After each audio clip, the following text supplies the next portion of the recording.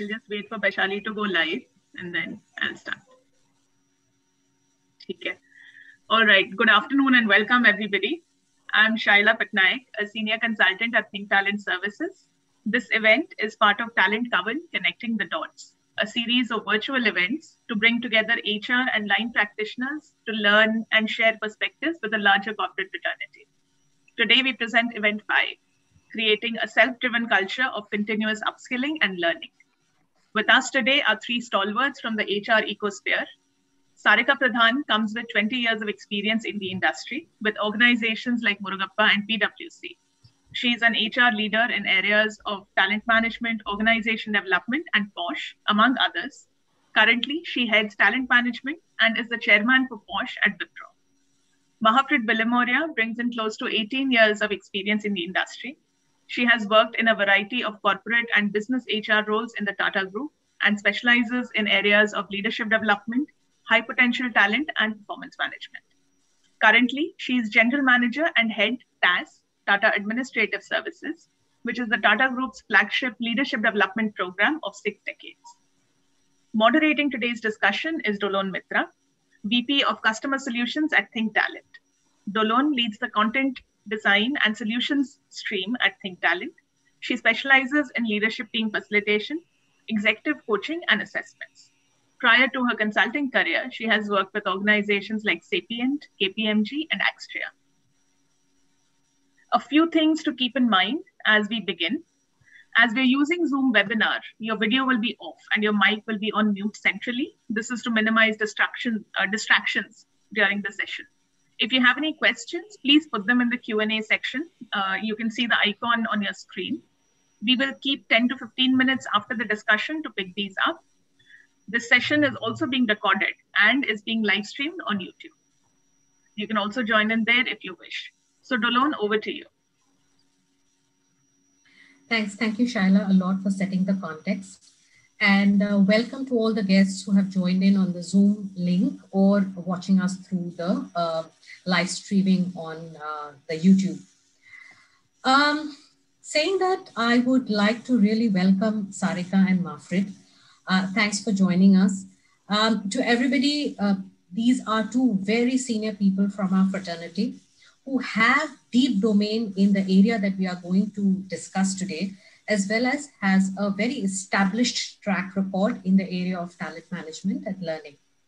So the topic that we are going to discuss today is creating self-driven culture of continuous upskilling and learning. Uh, Sarika and Mahafrid, again, welcome. So I think the fact that we need to focus on continuous learning is almost becoming commonsensical, right? Uh, and, and we end up talking a lot about digital, but digital is just a small part of this. I think what we really need to focus on is this connected, iterative, continuous learning process, which really helps someone maneuver the present situation towards success, right? And uh, it has also been proven that companies which really focus on learning culture do very well in some of the business uh, indicators like uh, customer experience, uh, innovation, longevity, etc. Uh, so saying that first, I would like to go to you, Sarika. I mean, Wipro is a logo that everybody loves to have uh, around them, associated with them, etc. And perhaps to a great extent is because of the focus that the organization has on learning. Right?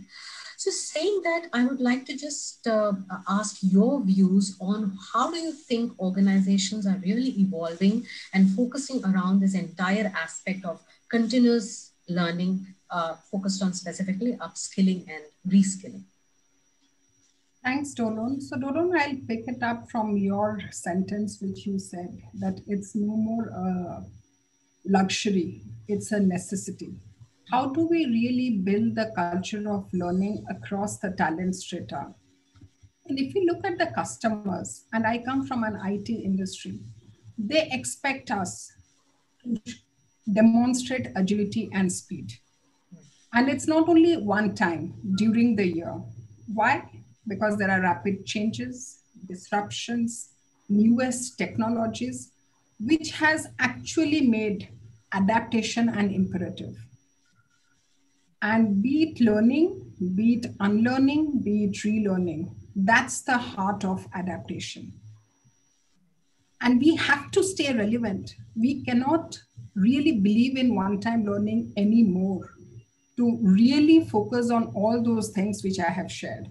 So two examples I would like to give from the organization is when COVID came, the pandemic happened, we created in just two weeks e-COVID modules, the e-learning modules, because 99% of our people were working from home.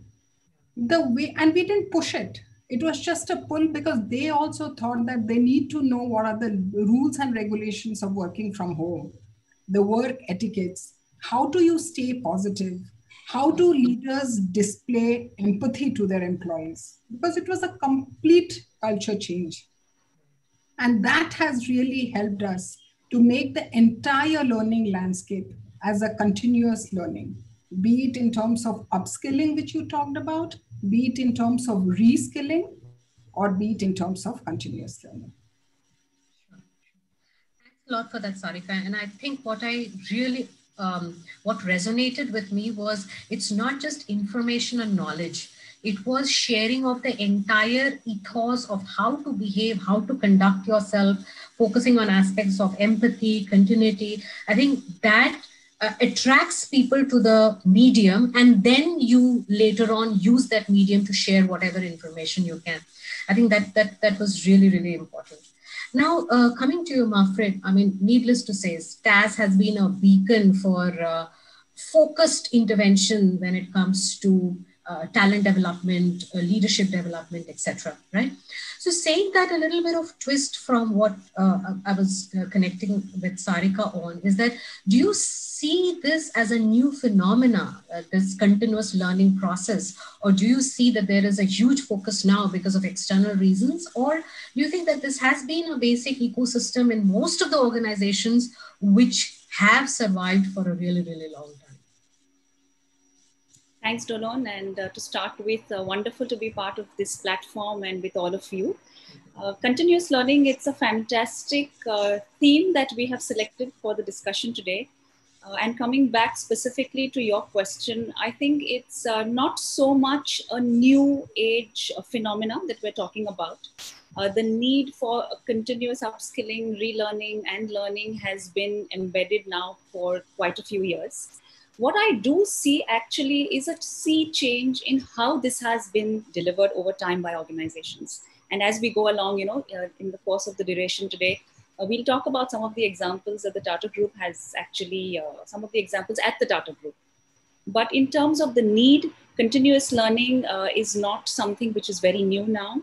Uh, the need has been established, embedded for quite a few years. Uh, no longer are the days when you know you had uh, you were nominated to just one or two marquee or big programs in the entire calendar year. But uh, there is a need for a regular bite-sized continuous constant engagement when it comes to learning and and reskilling. Right. Sure.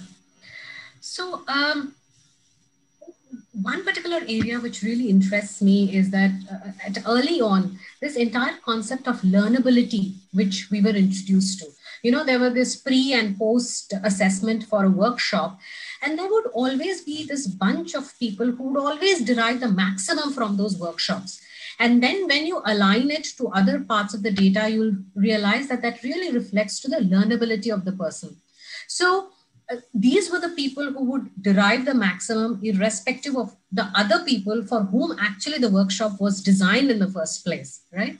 So there is a lot of aspects in terms of mindset when we talk about learnability looking at your mistakes as opportunities asking pertinent feedback really emulating behaviors of others who are displaying those kind of skills right? So again going back to you sarika um, uh, how do you see organizations or what are the steps that organizations are taking to create this ownership in people or in individuals that you are responsible for your learning and please have a certain level of orientation towards your own learning? How are we uh, doing that in organizations nowadays? Beautiful question dolon and i always reflect when i go to office or start working that what should we do from an L&D standpoint or a perspective in terms of really not apply the push strategy, but the pull strategy. So I want to share an example of LinkedIn analytics, which we get every month from the LinkedIn team. 90,000 plus Wiproites have gone to LinkedIn learning platform and learned some or the other e-learning modules. We have not taken that as a platform. That means it shows that the penchant for learning mm. amongst individuals. Right. And the learning has been in domain, the learning has been techno-functional, in technical areas, in behavioral. So it's a combination of both soft skills as well as hard skills it was very interesting to see that even when I come back to my own organization's examples, which I shared with you, we have about 1 lakh 25,000 employees who have covered the six e-COVID modules, which we came out in, in the last three quarters. Okay. Very impressive figures. And we have been an organization where our focus was on instructor-led tra training. Mm-hmm. Now to move to a virtual instructor-led training to what Mahak Fritz said on the micro learning bites to the e-learning modules, as we speak, we have about 70 to 80,000 people who have really gone forward and learned the different modules which has been hosted in our new LMS system, which we call it as a WeLearn. But two important things we need to, what we can do, I shared from a L&D perspective. But the two important parameters is are we really making learning, that continuous learning as part of our culture? Right. Is it becoming a habit? The way we get up in the morning and we brush our teeth, are we really coming to office and really parking ourselves one or two hours to learn? The second one is any, it's a change management process. How do you build your awareness? How do you build your desire? how do you really tell the employees what's in it for me from a knowledge perspective and keep on reinforcing it and that can happen only when it comes from the ceo or the chairman of the organization the impetus from the top is very important and then it makes the functions life easier when from every angle people think that learning is here to stay and the continuous learning is a journey. And then we bring in the tight linkage to the people processes. We bring in the tight linkage to the business strategy. That's the role of us. And how do we create frameworks to catalyze and reinforce the entire thing in terms of champions, in terms of collaborators, in terms of deep conversations, in terms of evangelists many things we can do. And these are just few pointers and nuggets which I am sharing with the larger team out here who has come for the meeting. So we can actually do lots of things in terms of process improvements. Sure. Thanks a lot, Sarika, for that. So, Mahafrid, coming to you, is that uh, TAS is a particular institute which has been there for a long time, right?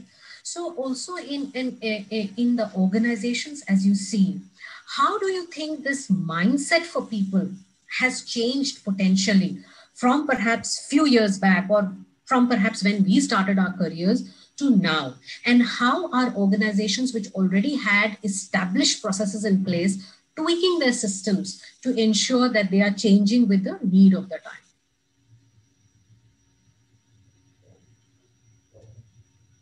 Mahafrid, you're on mute. Yeah. Well, it's largely a function of a few things, the way I see it, and the way we have uh, taken a perspective on, on leadership development and long-term learning. So it's more about, you know, showcasing to talent these days that the organization has a long-term view and a long-term line of sight on their development. Mm-hmm. And if you really go to see, that's ultimately what, you know, our talent expects out of us. Uh, mm-hmm. A great role, challenging opportunities, opportunities to learn and grow but if you can put forward in front of them a leadership development architecture, which is not just the immediate term, to not mm-hmm. to say that, you know, we are here to invest in your careers for the immediate term or the short term or maybe one or two or five years, but you can show a line of sight which is 10 or 15 years, mm-hmm. saying that at every career juncture, when one is moving from, let's say, middle to senior to top management, these are the development interventions or imperatives that we infuse into your journey. So showing them that longer term line of sight, Uh, the other one I feel, and that's something that we have attempted to do quite a lot now at the Tata Group, is frequent and constant uh, conversations. Mm-hmm. There is a huge power in continuous conversations with, right. with employees, with talent. Um, and ultimately, in terms of creating a mindset shift, you know, where people own their learning journeys, mm-hmm. it's really about uh, everybody understanding first to start with what their innate and intrinsic aspirations are, what their interests are, the career trajectory that each one already is on, the expertise area or the domain area that they are on, the gears they wish, wish to shift to, and ultimately a real solid uh, review and understanding of one's gaps. And when we come to the gaps, that's where I'd like to again highlight the power of conversations. Now, every organization has got formal methods where you have your annual review discussions, you provide platforms for 360 degree feedback. But sometimes you can get feedback and input from the immediate ecosystem, even if it is not very formal. So, right, right. encouraging people to be more inclusive, to ask, to gain feedback from team members, undoubtedly from their managers, peer to peer coaching. These are areas in which really it creates a shift in the mindset where learning is now not the responsibility of the organization alone, but learning is my responsibility. You know, I have catching up to do. And therefore, what are my gaps and how can I get on with it? Right. So, Mahafrid, I think you bring about a very important point, which is conversations. And, you know, uh, I think gradually people are realizing that conversations are not time consuming, but they're definitely attention consuming. I mean, more than the 15 minutes of conversation, I think a lot goes in the preparation as to what are you going to discuss? What are the concrete areas that you're going to really, really focus on.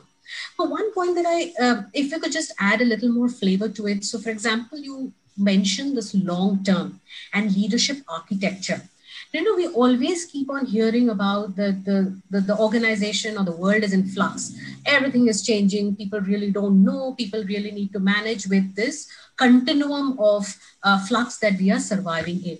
So in that, when you're talking about a time frame of 10, 15 years, having a visibility of 10, 15 years, how are you guys actually doing it? I mean, how are you being able to arrive at some structure which has a visibility of 10, 15 years in the present world that people have made it out to? Sure. So I'll throw a little light on, uh, you know, what I mentioned, which is the leadership development architecture right. for the TAS or for the Tata Group within uh, as I mentioned, it is a, a, journey which is almost a 10 to 15 year journey. So, what we've really done is we call it a leadership life cycle framework, which mm-hmm. means taking a longer term view of a talent's career journey. So, when one is moving from uh, senior to middle to uh, middle to senior management, what are the necessary development interventions, programs, and support that the talent needs to ready himself or herself for that next logical role or that next higher role. And this comes in various forms. So there are three pillars on which you know the framework really hinges. Mm-hmm. Uh, one is the roles that people undertake. So in the mm-hmm. formative mm-hmm. years, you undertake roles which give you functional depth, which give, set mm-hmm. your foundation in terms of understanding exactly how businesses work. As you move up, uh, encouraging people to take up team lead roles and then moving on to business roles and uh, functional head roles. Mm-hmm. The next critical pillar, which I want to highlight, is the programs and interventions. Uh, right from you know having a three-tier leadership programs where at the formative years you are coaching people to be great individual contributors. What mm-hmm. does it mean to imbibe leadership excellence, uh, mm-hmm. corporate excellence? Moving on to being team leaders, uh, moving on to being uh, heads of functions and businesses. So the three-tier leadership programs. Another important uh, set over here is coaching and mentoring. Right. We do consider coaching and mentoring to be a huge enabler in helping talent realize their potential. Right. And these are one year journeys, coaching, mentoring journeys. And the good part here is that we take feedback from the learners themselves, saying, mm-hmm. How would you like to see your one year coaching and mentoring journey pan out? What are the initiatives and interventions that you want to be part of? And of course, there is a there is a repertoire of programs out there, whether it is digital learning, online learning assets, uh, you know, giving them access to publications, webinars, mm. podcasts, giving them access to uh, certifications. Uh, we allow them to choose as well what is it that they really want to be part of. Right. The, the long-term architecture is really uh, all about uh, the two things that I mentioned, which is roles, programs, interventions, and the thing that I prior mentioned, which was conversations, talent dialogue with the companies, coaching conversations, career conversations with learners, saying how is the role currently, you know, shaping up for you. Right. What is it that you see is something that you'd like to take on in your in, in the next two three years, and how would you like the organization to support you? So back again, the power of conversations. Sure, sure. Thanks a lot, Manpreet, for that. I think that was really insightful. So, uh, Sarika, coming to you, I think um, uh, the more we say about this entire topic of conversation is less. So uh, we just know, I mean, I, I, think Google did an extreme deep dive analysis of the middle management profile because that is a population that we have been thinking about. What is the impact? What are the value that they are bringing in? What are the things that we really need to focus to upskill them, etc. And I think the sole thing that came out of um, researching some millions of uh, uh, people in that particular career stage is the most impactful thing that people can do at that career stage is to mentor and coach the people down below. And that came as the sole and the most important impact area for that particular career stage. So I, I think we, we, we cannot take away from the importance of conversations and real regular conversations. But saying that, I think the mindset that we spoke about, conversations, etc., it is important, but we cannot take away from the fact the kind of support that an organization also needs to provide in terms of repository of knowledge, network, leadership cover. And I think most important is the opportunity. You're making that person learn a lot of things great, but the person also needs to create that or make some output from whatever he or she has assimilated. So if I may ask you, uh, how would we or what is the best way of looking at learning interventions or this continuous learning support interventions at an individual team and at an organization level? Or maybe is there a need to look at it at three different levels to ensure that we are being able to really focus and give people what they want or what they need? Sorry if you could just so Dolon, to your previous question, I missed giving an example and I had the live examples for each of the questions. So one is, I'll just take the example of our first time manager program, which is a platform based journey we have started uh, over the last few years. So initially we were going to our HR team, to our business leaders in the units and all for the nominations of these people. Who are your people you would want them to go through? Right now, after completing three, four batches, we have created a click where we are seeing about 2,500 people self-nominating themselves that they want to be aspiring FTMs. So for us, that has been a wonderful way of saying that people really want to own their own learning. I just wanted to share that example to, and a rejoinder to whatever Mahafrid talked about right. long-term now, coming to this question, I think what you have shared, uh, Dolon, makes sense. And in large organizations like Wipro, Tata, until and unless we have this kind of a structure and a framework, we will go awry actually. So coming to the organization, yes, organization do play a big role, even though we say that the individual has to own his or her learning more from the culture perspective. Means the smell of the place should be that the person is learning something. Right, and right. from the culture comes the purpose. Right. Why, why should people learn? What's the purpose of it? And then comes the changing minds. Only if the people at every uh, career band knows what's the purpose and what they should do, be it middle management, be it junior, be it senior. And from there, it helps us to innovate and retain the people.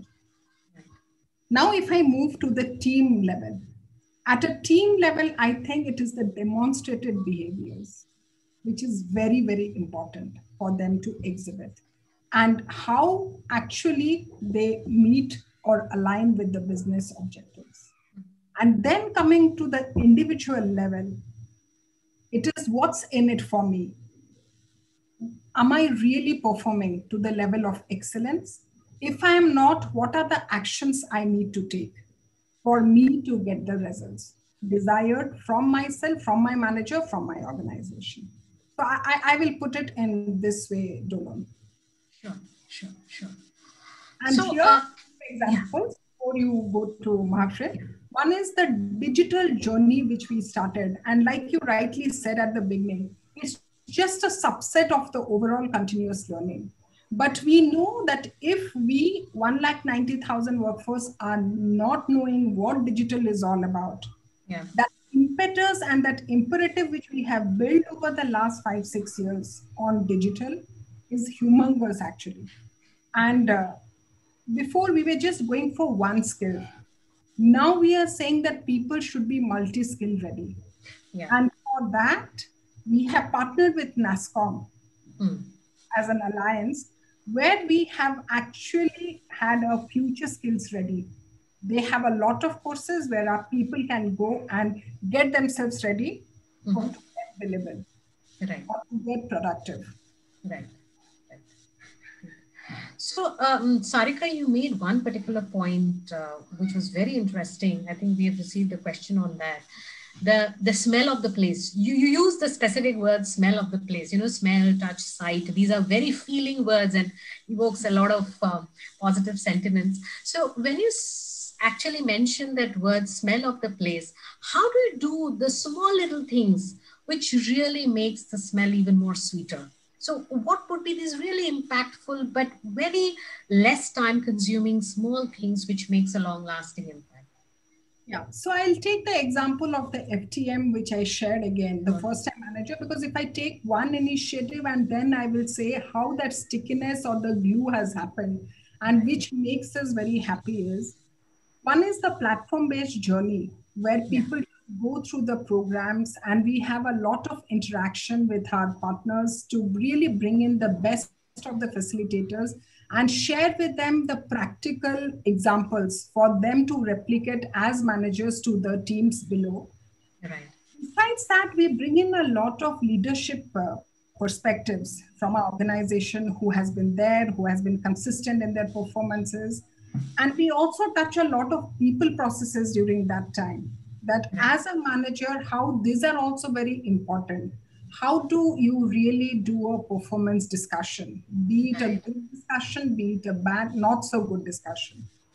So each each touch points helps you to understand are you really making your first time manager holistic? And that really helps us to understand the smell of the place is positive or the smell of the place is going haywire. And i really need to sit inside the boardroom to decide my next uh, course of action. Absolutely. Yeah. Thanks a lot for that, Sarika. Thank you very much. So, uh, Mahafrid, coming to you, you know, there will be always this 20% of the population in organization who will know what to do.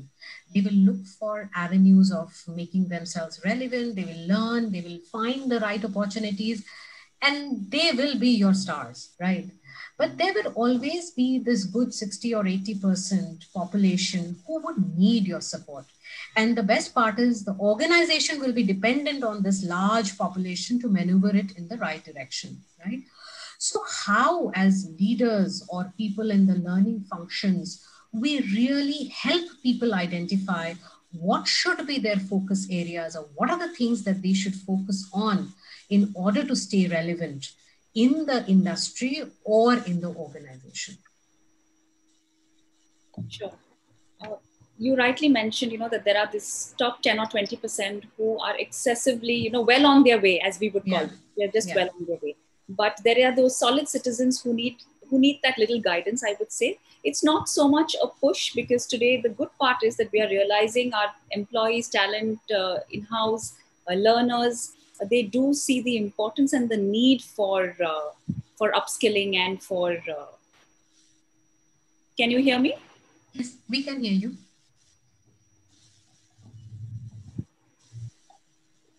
Mahafrid, now we can't.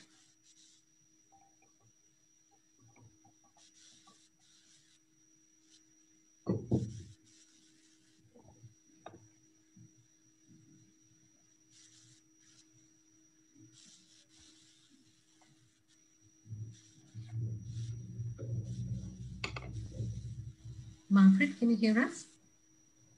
I suggest you continue and then hopefully she'll join back. Sure. Okay. So, uh, Sarika, as Mahafrid had already uh, started commenting on that, uh, the larger population who needs a little bit of support and guidance, what would be your uh, take on what would be the specific areas we should tell them or we should guide them? Or how does organization really guide these people onto what are the things that they need to do from their own learning journey perspective? There has to be, Dolon, a strong linkage, I think, with our performance management system. Mm-hmm. Uh, and learning and development of an individual, irrespective of the person, is a high potential, a consistent performer, or people who are solid citizens. Mm-hmm. Learning is a must till we go to our happy hunting grounds. Right. Right. So there are lots of things which we do, and we host it in our uh, LMS as well in terms mm-hmm. of they can do themselves, what they need to come to the HR or L&D for support mm-hmm. and what they can do from an external standpoint. Right. Right. In terms of webinars, in terms of certifications, because that involves a cost. Right, right. So what we do in Wipro is uh, we believe in mentoring and coaching, which uh, Mahafrid also talked about or TAS. I think the more we do, the less it is. Mm. How do we actually build a culture of mentoring in our system? We mm. have a platform which is called as Learning Networks, but my point is we can really make it more effective. At one given point in time, do I have say 15,000 employees who are getting mentored by different men? Mm-hmm. The other things I talked about is the self-learning through micro-learning bites, through e-learning module. The third thing which we are trying to bring in, how do we move from episodal learning to a journey-based approach? Right. Because, right. because the problem has come from the managers mm-hmm. that people go for this program, they give a lot of appreciation. There has been a lot of instant learning. After a few days, they forget. Right. So how right. do we really move into a journey-based approach of five to six months journey where mm-hmm. we hold this cohort? Right, right, and we bring right. in a lot of elements and where actually this cohort not only learns from the program but learns very holistically. Right, be peer to peer be top to down bottom to up. So the bubble and another one is the bubble assignments where besides doing the job if mm-hmm. you have one or two hours free every day or say three four hours in a week can you really go to your interest area? So mm-hmm. we handle uh, we handle uh, initiatives like we bring in uh, global 100 hires to our organization as well as about 200 plus uh, mba hires from the premier institutes. Right right. And as a team we hold them for uh, say 18 to 2 years 18 months to 2 years. Right. So we just ask them through our fgds and dipstick surveys besides the work you are doing, you may be a business analyst, you may be in strategic marketing or HR. Which are the passion areas where you want to learn? Right, so we right. want to learn about strategy, about mergers and acquisitions, about finance. Then we go to the leaders, the functional leaders, and we check with them. Do you mm-hmm. have some projects where right. you can do the stressed assignments, the bubble assignments? And because if you look at the 70 20 10 model, right. 70% is on the job. Right. right so every right. day for us, we learn on the job. And then right. we bring in the mentoring and the training intervention. So right. those and uh, very strong performance management conversations. These are a few things which we do. And we go back to Mahafrid. I think she's back. So uh, yeah, we will, uh, Mahafrid, good to have you back. We will go back. But just, uh, Sarika, one particular point over there, you spoke about a lot of things, but one particular area which I feel sometimes get missed and is extremely strong tool is this peer-to-peer coaching. And whenever you're talking about, for example, let's take first time manager or manager of manager, there is an entire cohort which is going together, right? And there's a huge opportunity of creating very valuable content which they're sharing with each other about how to resolve an issue, how to resolve a roadblock or whatever. And that's a very rich contextualized content for the organization. So, how, as an organization, should we, number one, look at harnessing this entire peer to peer coaching process, as well as look at creating content uh, from this peer to peer conversations and uh, coaching processes? I think we have started it small, but we have miles to go. And now, like I said, from our episodal learning, we are moving to journey based, where we are creating this cohorts dolon, be it right. for the manager of managers, be it for the FTMs. I think this is a brilliant concept where we really need to change the psyche and mindset of our human beings. Mm-hmm. Sarika mm-hmm. wanting to learn from Dolon or Mahafrid has to have an open mindset that yeah. they bring in a lot of inputs which you aren't aware of. Right. And there is a positive way of looking at it. Right. Once we open that and build the awareness, and then we can bring in the frameworks of peer-to-peer coaching. But yeah, you have given me a food for thought actually for the cohorts which we are going to build in future and current. How do we really bring in as a formalized way of learning? Sure, sure. Thanks a lot. So, Mahafrid, good to have you back. So, uh, uh, continuing with that, just if I may add a little more flavor, uh, how do people stay ahead of the curve in terms of their learning? So, how do we enable them to give direction or pointers as to what do they really need to learn or develop to remain relevant as well as continue in their growth journey? How do we do that as an organization? Sure. And uh, just want to check if you can hear me clearly. Sorry about the little glitch there. No, no worries at all. We can hear you and we can see you as well. Wonderful. Uh, thanks for the question. And uh, so, uh, Dolon, I think it's really a function of uh, helping people understand what's out there. Right. So people are really, you know, uh, very focused on the job at hand, very focused on doing their best every day when they come into the office. Uh, people uh, on their own also gravitate towards understanding what's new age, what's changing uh, globally within their industry, within their function. And it starts small and it goes grows big. So it starts first with your own function, it starts with your organizational ecosystem, and then it moves out across to what's happening out there, you know, globally. But sometimes I have realized that they they do uh, require the support and the engagement maybe of the HR teams, of the L&D teams, of their managers, to really understand what are the new age themes, topics, areas that one really needs to catch up on. And that little introduction, that little nudge, that little support to say, hey, uh, these are some fantastic programs that you can embark. These are some fantastic interventions that we see are relevant for you given the career juncture, the career trajectory you are at right now. And mm-hmm. let, let me take a few examples. If it's uh, you know people who are moving from let's say a mid management to a senior management role mm-hmm. moving to a global role uh, mm-hmm. supporting them with uh, programs around leadership uh, through different cultures acclimatization across cultural boundaries uh, these are some of the areas in which the organization helps identify them for them identify right. these for them uh, let me take another example of niche skills uh, mm-hmm. niche skills could, you know, straddle across functions, straddle across industries, and no matter which function you are, which industry you belong to, it's agnostic. So mm-hmm. niche skills would be things like design thinking, would be AI, art of storytelling. These are some areas I have realized that our talent needs that little support to understand what's out there. And if we can uh, not, I would not say give it to them in terms of spoon feeding, mm-hmm. but uh, introduce them to some of these areas, it really, really helps. Uh, so more often than not, I have seen it's just about opening doors, and uh, people do have that intense uh, intrinsic motivation to then pick it up from there. Sure, sure. Yeah, you just give them a little bit of taste of the beautiful dish which is cooking, and then they will just lap it up. Yeah. and if I may add, if I may add to this, what then happens is this is just the first part of it. Yeah. Uh, for them to then come back to say, you know, yeah. taking a, taking along from Sarika's point, which is the pull factor. Yeah. If you give them a flavor that learning can be fun, it can be experiential, it can be innovative, it can be different. If right. you give them that flavor, they're going to keep coming back for more. And whilst I say that, let me give you examples of what that fun could be. It could be teaching leadership through art and culture. Uh, mm. We've had a program for young TAS managers. And when I say young, they're really young. We're talking of just one year into the program.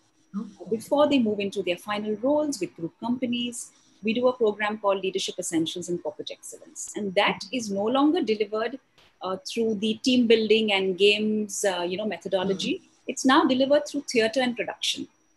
So you'll have these group of youngsters who are part of role plays, who are part of production and you know theater setups. They've been given plays and plots.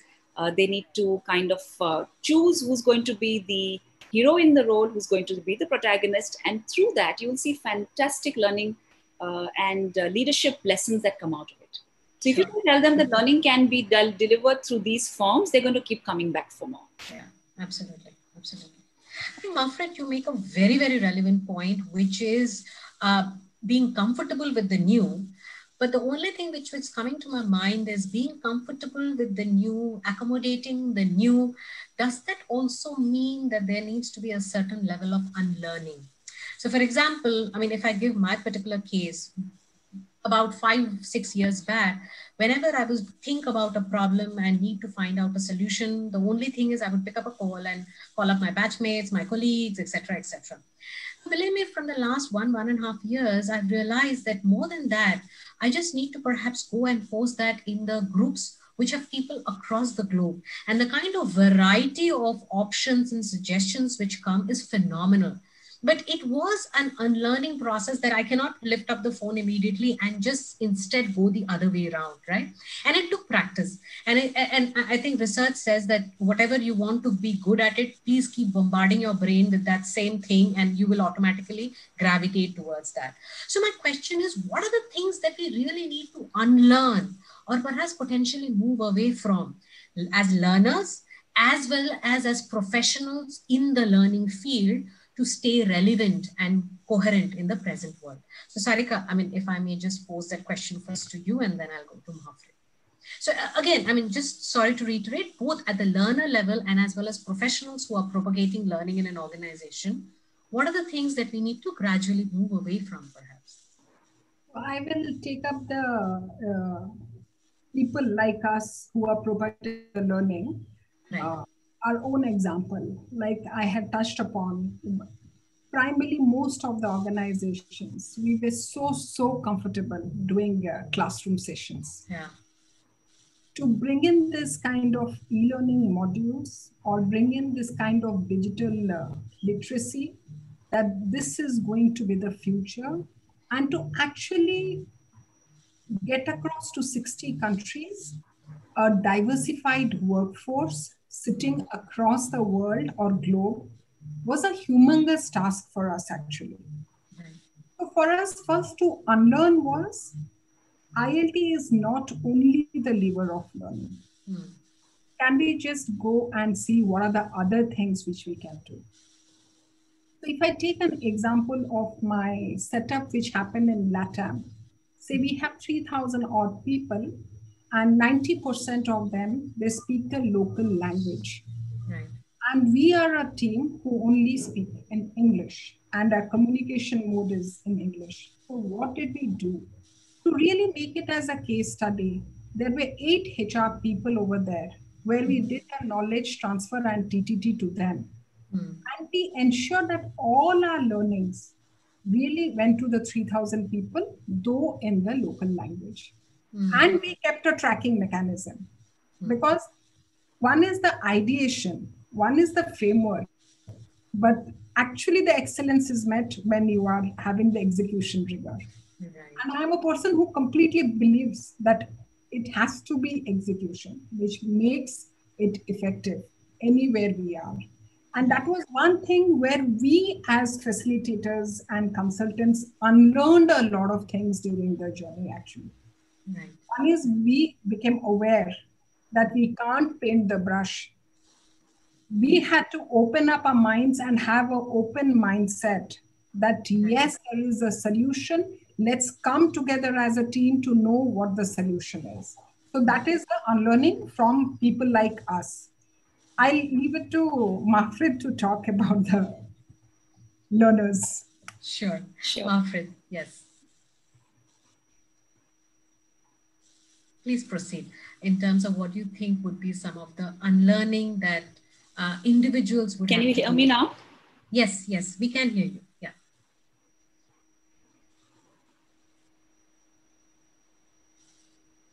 i think she has some technology problems uh Mahafrid, can you hear us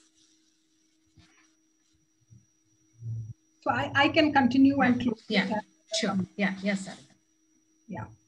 So uh, from a learner perspective, I think the most important thing is you need to be self-aware. I think there is a question which has come from a participant as well. How do we keep ourselves relevant?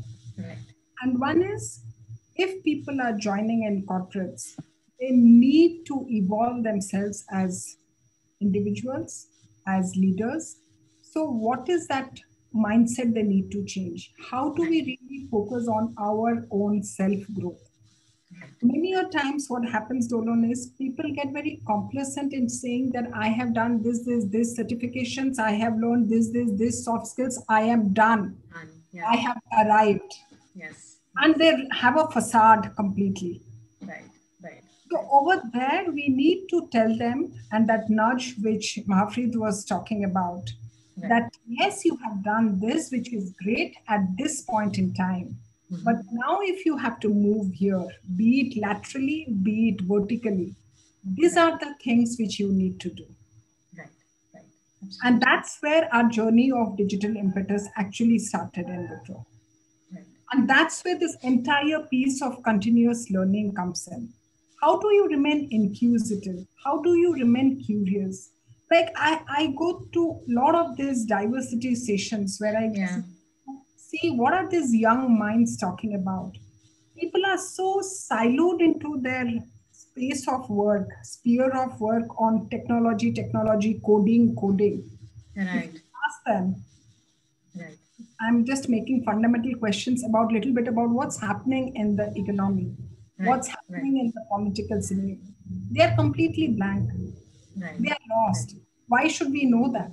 We only yeah. know we should only do coding. So that's where I have to again unlearn a lot of things. Sure, How do sure. we really get that holistic view for us to know that when we face a customer, when we face our managers, we are able to do those conversations. Right many a times our people fail because they don't know what to question focus on yeah. Focus on. Yes. Yeah, yeah. so uh, sarika just owing to the fact that i have you here and you come with a very rich POSH experience have you seen this orientation towards learning or continuous learning any different across genders or it's pretty much the same? I was just curious because because of, i had you in the panel. That's it.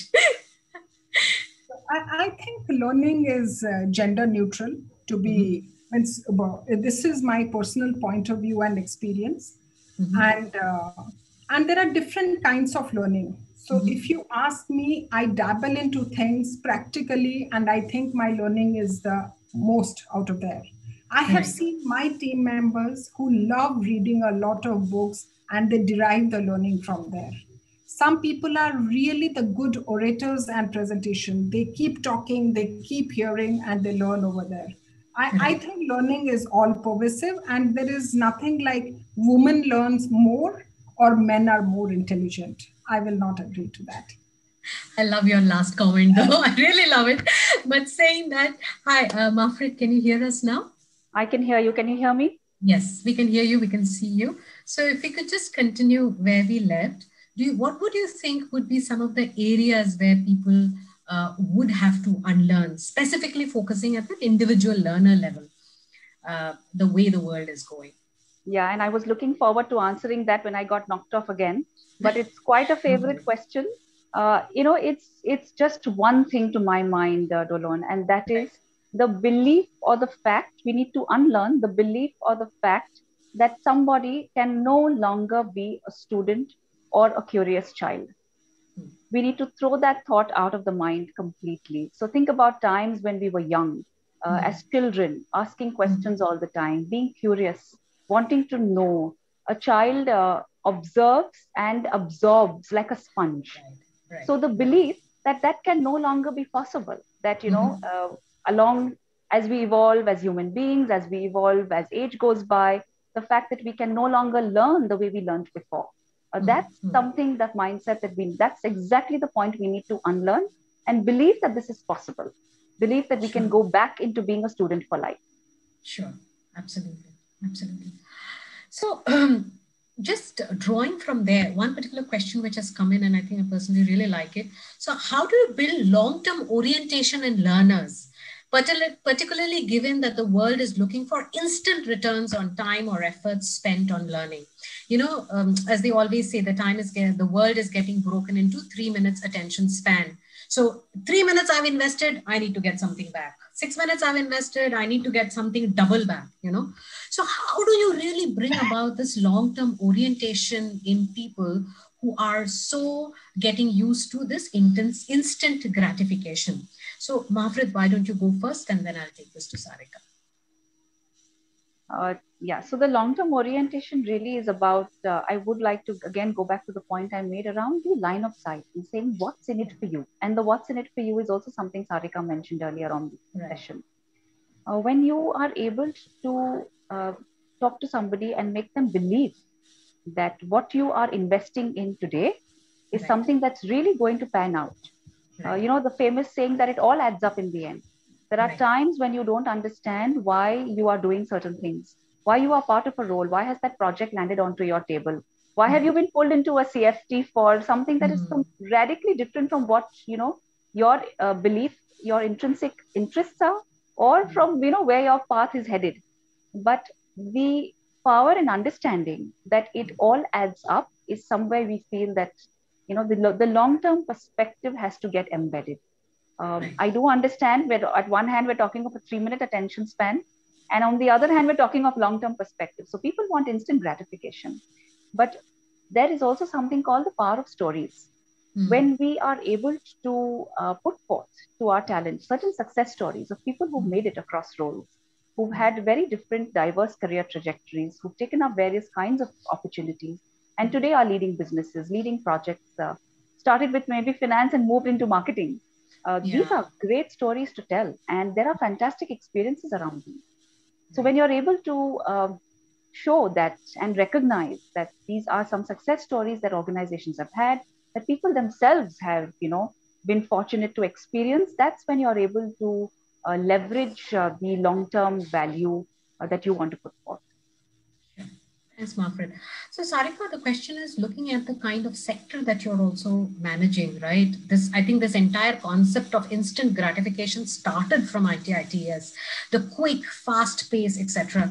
So, coming specifically from that background, how do you really build in this long-term perspective of learning and career journey in instant gratification? Because over here, people look don't just forget about learning. They look at I am looking at learning this tool. That's it which is going to be relevant for the next six months and nothing beyond. So from there, I mean, so difficult it would be to really, uh, from your perspective, to establish a long-term perspective. So how do you go about doing that? So you are right, Lolo. This instant gratification is something which we oft use it in our uh, organizations.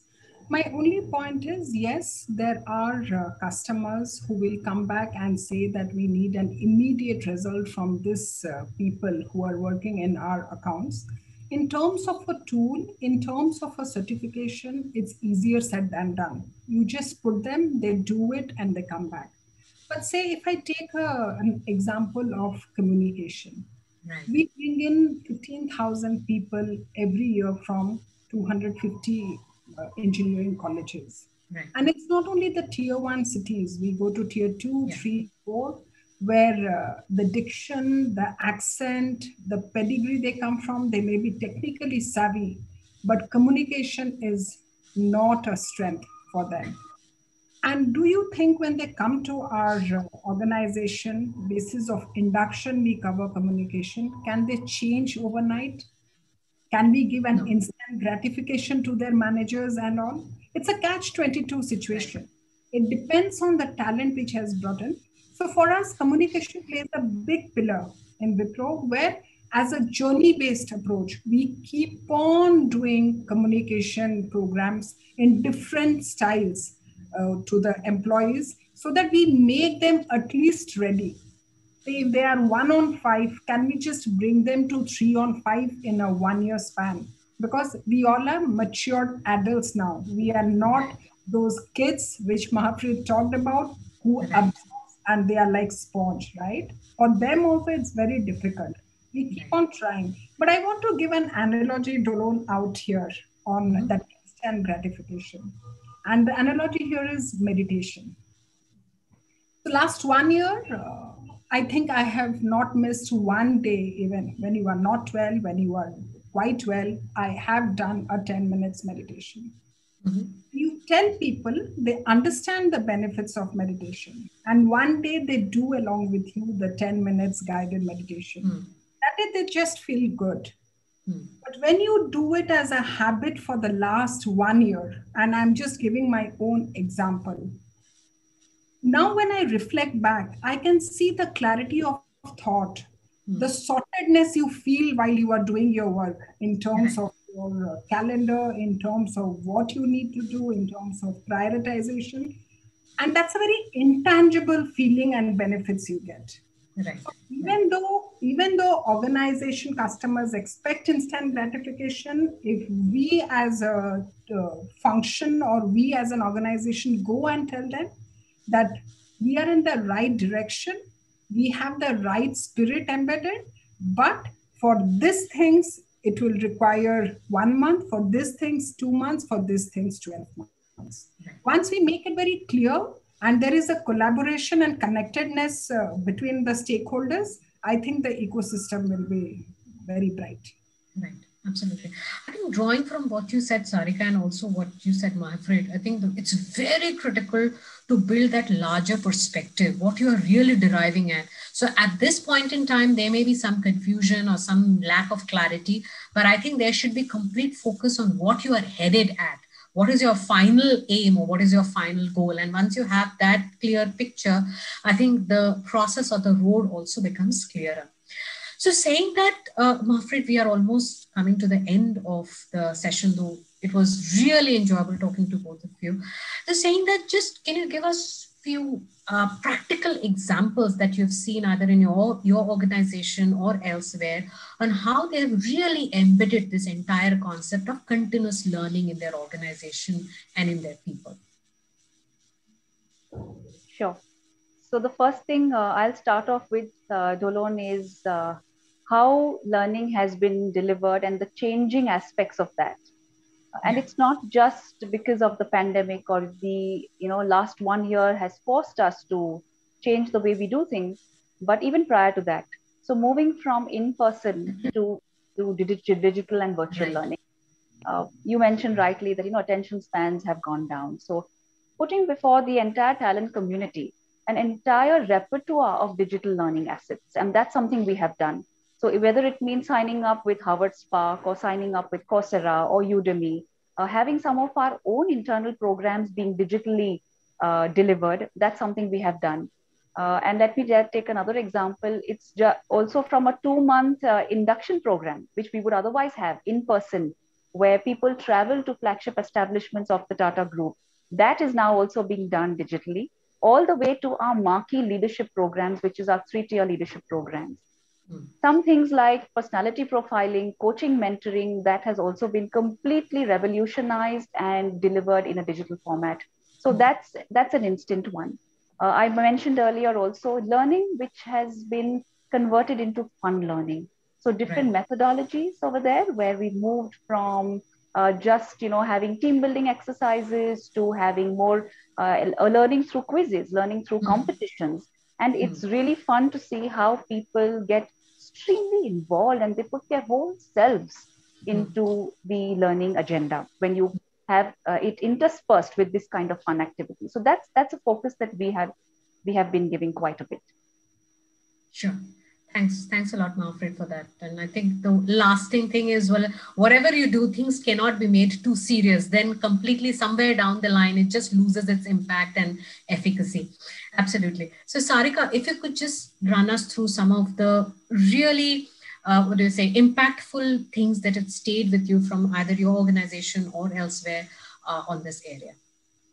So I think whatever Mahafrid said, we do the, almost the similar things uh, in Wipro. And I had given you the example of uh, COVID e-modules, where we really stood up as a function and uh, showed it to the entire Wipro world that we can make it happen. And we not only made it happen, we had that execution rigor and we ensured that across the globe people attended. So that was a massive shift which we brought in in our L&D space. The other thing where uh, I talked about the Wipro NASSCOM, like that right. we have a lot of partnerships with universities and academias. Hmm. Like our engineering team has it with the IISc in Bangalore. So those really helps us to bring in the cutting edge technologies and that we also focus a lot.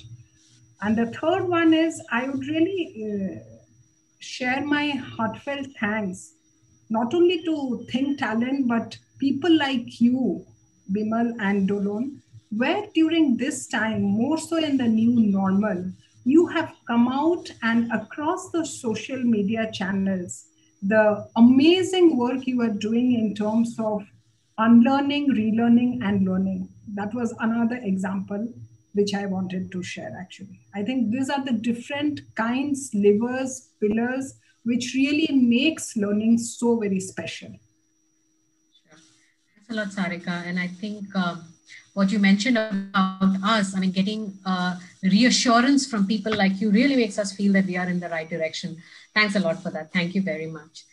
So um, we are almost at the end. While I am with you, Sarika, any last thoughts uh, on this entire topic, how the world is progressing and where is it going in this area? So I had three, four quotes, which are, I, I love sharing quotes actually, Dolon, to the entire participants out here. And whatever you have asked us the questions and whatever we have shared with our knowledge and perspectives, both me and Martin, I think change is the only constant to stay relevant right. irrespective of you are an individual contributor, you are a manager, or you are a leader. Right. You don't change, you are gone. You become redundant. The second one I wanted to say is Rome was not built in a day. Yeah. And my favorite quote, for which I'm known in Wipro, is uh, my team. I think few of them are here in the call. Miles to go before we sleep. So don't take the accolades and sit down that you have done a good job. We still have to go far. And at the end, I want to just close it as leaders need to do the walk the talk. And as a leader, I believe in it wholeheartedly. Sure, sure. Thanks a lot, Sarika. I, I, think that was a beautiful way in which you brought everything together. Now, if we could just come to you, Marv, with your views, your parting thoughts. Sure, Dolon. Uh, so the first one that you know I'd really like to talk about is that uh, organizations uh, really have the wherewithal today in terms of uh, resources and in terms of you know uh, knowing what's out there. But there is only as much as the organization can do in terms of providing platforms, opportunities, as I mentioned earlier, opening doors, making introductions, going down to even hand holding talent today uh, to understand and identify their areas of uh, you know their areas of uh, skills that they need to work on. Uh, but beyond that it really is up to each one of us as as a learner as a child as a professional as an individual uh, to participate wholeheartedly uh, and very sincerely i would say in our own learning and growth journey. So the accountability ultimately comes back to each individual. So that's a thought i want to leave out there and uh, another message that I'd like to tell everybody who's watching today is that when you really go on to doing something that you really haven't done before or mm-hmm. learning a new area, and that skill could not could be a skill which is outside of the professional realm. It need not be a skill or a competence or a leadership attribute. It could be learning a musical instrument, for all I can say. It could be learning a new language. But when you go out there and you make it happen for yourself, there is a huge amount of confidence building that you do for your for oneself and for your own self. Mm-hmm. And uh, evolution as a person, I would say, experiences that we gain by learning new skills uh, helps us evolve as a person. And a byproduct of that then is, you know, becoming a great leader, a great manager, a great professional. Mm-hmm. So focus on evolving as an individual and gaining crucible experiences is, is my message to everyone today. Thank you. Thanks a lot, Mahafrid. I think thank you, Sarika, and thanks, Mahafrid, a lot. I, I thoroughly enjoyed this conversation, and I'm sure everybody who has logged in or who going to see this YouTube is going to find it extremely useful, practical, and impactful. I, I think it, it was an extremely enjoyable experience for me. I think a few last thoughts that you mentioned, which really resonates. Number one is we should really look at evolving as individuals rather than focusing on specifically our work. And that is the way the organizations as well as the world is going.